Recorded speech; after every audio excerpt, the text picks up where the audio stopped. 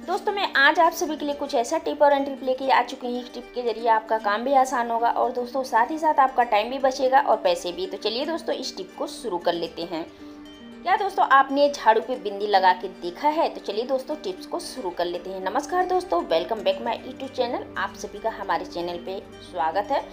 तो चलिए दोस्तों, पहला टिप है मेरा इस तरीके से मिक्सी को लेके। आपने देखा होगा दोस्तों, ये मिक्सी, मिक्सर जूसर है। मिक्सर जो जूसर होता है ना, उसका थोड़ा सा शेप अलग होता है। जो मिक्सर जार होता है, उसका थोड़ा सा शेप जो होता है, छोटा साइज़ होता है। तो आपने देखा होगा, जहाँ पे हम जार लगाते हैं, यहाँ पे प्लास्टिक लगी हुई होती है। तो क्या होता है कि हमारे घर में किसी किसी घर में चूहे बहुत ज़्यादा आ जाते हैं। और चूहे ऐसी चीज़ें कि आ जाते हैं, पता नहीं चलता है। तो दोस्तों, इस जो मिक्सर है मिक्सर को, आप जूसर, मिक्सर जूसर को आप इस तरीके से कटोरी से कवर करके रखिएगा। तो देखिए, मिक्सर जार हो या जूसर हो, लेकिन ये जो सेप है ना, जहाँ से मैंने कटोरी ढका हुआ, बिल्कुल सेप वही होता है। तो इस तरीके से जो इसके प्लास्टिक चूहे काट देते हैं तो ये बिल्कुल भी नहीं काटेंगे। इसको आप कटोरी से, छोटी कटोरी, बड़ी कटोरी, आप कोई सा भी, जैसे कि अगर, जैसे कि सही लग रहा है जो, आप यहाँ पे इसको कवर कर सकते हैं। या कप भी आ रहा है तो कप भी रख सकते हैं। तो मैं इसी तरीके से इसको क्या करती हूँ ना, कि जब ये जूसर मिक्सर मैं रखती हूँ तो इसके ऊपर कटोरी रख के मैं अच्छी तरीके से इसको कवर करके अपने किचन स्लेब पे इसको रख देती हूँ। इससे क्या होता है कि ये हमारा जूसर मिक्सर ये बचा हुआ रहता है और इसको चूहे क्या, इसको कोई भी खाने वाला नहीं है। और बहुत इजली तरीके से हमारा जूसर मिक्सर सेफ्टी रहेगा और चूहा बिल्कुल भी इस पर धावा नहीं कर सकता है। अब दोस्तों, क्या होता है कि जब भी हमारे घर में कोई गेस्ट वगैरह आ जाते हैं तो हम क्या करते हैं? जब दो से तीन गेस्ट आ जाते हैं तो हम क्या करते हैं कि सोचते हैं कि हमारे साथ एक कोई हेल्प वाला हो। तो दोस्तों, ज़्यादातर क्या होता है, पूरी पूरी जब हम बनाते हैं ना तो पूरी के साथ हमें हेल्प चाहिए। जी नहीं दोस्तों, आपको बिल्कुल भी हेल्प लेने की ज़रूरत नहीं है। जब भी आपको पूरी बनाना है तो बस इस तरीके से लंबे से पेड़े की तरह बना लेना है, जैसे कि मैं बना रही हूँ। आटा आप लगाए हैं तो एक लोई, दो लोई बड़ा बड़ा लीजिए और इस तरीके से लंबे लंबे आकार में बना लीजिए। अब देखिए पूड़ी आप मोटी लोई के बनाते हैं या छोटी लोई का तो उस हिसाब से आपको इस तरीके से कटिंग कर लेना है। अब देखिए, अब कटिंग करने के बाद आपको इसको प्रेस भी नहीं करना है। बस देखिए, इस तरीके से आपको दबा देना है। जैसे कि अब आप देख पा रहे हो ये हमारी लोई बन के रेडी हो जाता है। तो दोस्तों, आपको इसमें दो से तीन से बिल्कुल भी ज़रूरत नहीं पड़ेगा। आप चाहे तो अकेले ही कितनी पूड़ियाँ बना सकते हैं। मैं बिल्कुल यही प्रोसेस ट्राई करती हूँ। तो दोस्तों, मेरा कहना है कि आप भी बिल्कुल मेरे ही तरह ट्राई करेंगे तो आप देखेंगे आपकी पूरियाँ बिल्कुल परफेक्ट बनेगी। छोटी, बड़ी, मोटी, जैसा भी आप बनाना चाहें। कोई कोई है, मोटी पूरियाँ बनाना पसंद करता है, कोई कोई बिल्कुल पतली पूरियाँ बनाना पसंद करता है, कोई बड़ी, कोई छोटी। तो दोस्तों, मैं तो बिल्कुल पतली पूरी बनाती हूँ, अब बिल्कुल यही साइज़ है मेरा, इससे ज़्यादा बड़ी नहीं बनाती हूँ, और ना ही इससे ज़्यादा मोटा।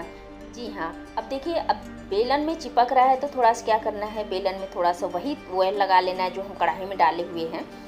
और इस तरीके से आप चाहे तो कितनी सारी पूरियाँ बेलते जाइए और कढ़ाई भी एक साइड रख दीजिए और कढ़ाई में अपनी पूरियाँ को निकालते जाइए।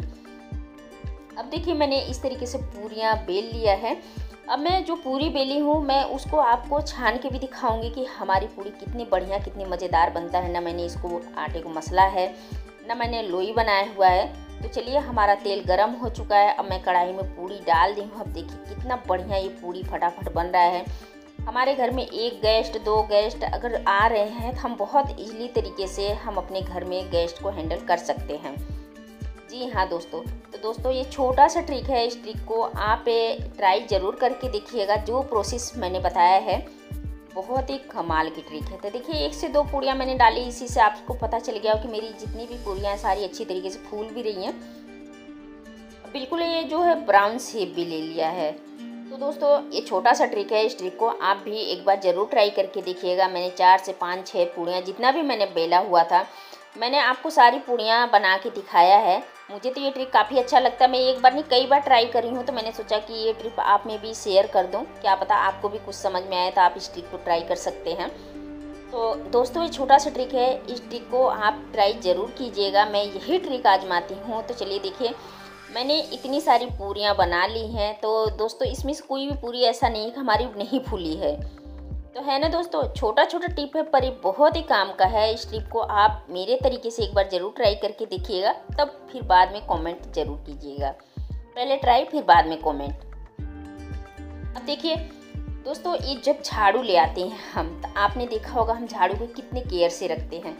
लेकिन क्या होता है कि झाड़ू धीरे धीरे जब हम इसको इस्तेमाल करते हैं तो ये जहाँ पे तार लगा हुआ है ना, यहाँ से झाड़ू हमारी टूटने लगती है और झाड़ू यहाँ से लूज भी हो जाती है।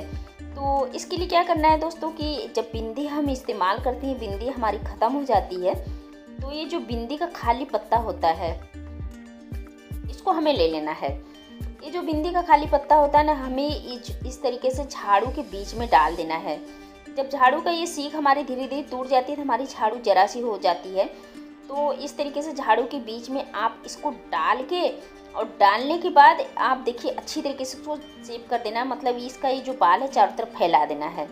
और फैलाने के बाद मुझे क्या करना है? मैं ये भी बताती हूँ कि आपका झाड़ू दुगना काम करेगा और दुगना चलेगा भी। अब देखिए, ये जो बिंदी का पत्ता है, मैंने इसके अंदर डाल दिया है। अब डालने के बाद मुझे एक रबड़ बैंड ले लेना है। रबड़ बैंड ले लेना है।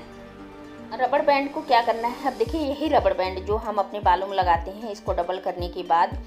रबड़ बैंड को अच्छी तरीके से जहाँ पे बिंदी पत्ता मैंने लगाया हुआ है, वहीं पे इसको बिल्कुल सेम प्रोसेस टाइटली लगा देना है। इससे क्या होगा? पहली बात तो जो मैंने बिंदी का पत्ता लगाया हुआ, वहाँ से आपकी झाड़ू बिल्कुल फैली हुई नज़र आएगी। और जब झाड़ू लगाएँगे दोस्तों ना, तब आपने देखा होगा कि जब झाड़ू हमारी फैली हुई रहती है तो हमें झाड़ू लगाने में काफ़ी अच्छा भी लगता है और जितना कूड़ा डस्ट रहता है, काफ़ी अच्छी तरीके से वर्क भी करता है। तो दोस्तों, ये छोटा सा ट्रिक है। इस ट्रिक को आप ज़रूर ट्राई करके देखिएगा। और अब देखिए, ये जो खाली बोतल हम कबाड़ समझ के फेंक देते हैं, ये वही बोतल है। तो दोस्तों, मैंने खाली बोतल ले लिया है। अब बोतल का ये जो ऊपर वाला माउथ वाला पार्ट है, मैं इसको कटिंग कर लेती हूँ। तो देखिए, किसी भी चाकू से, कटर से, सीजर से आप इसको कटिंग कर सकते हैं।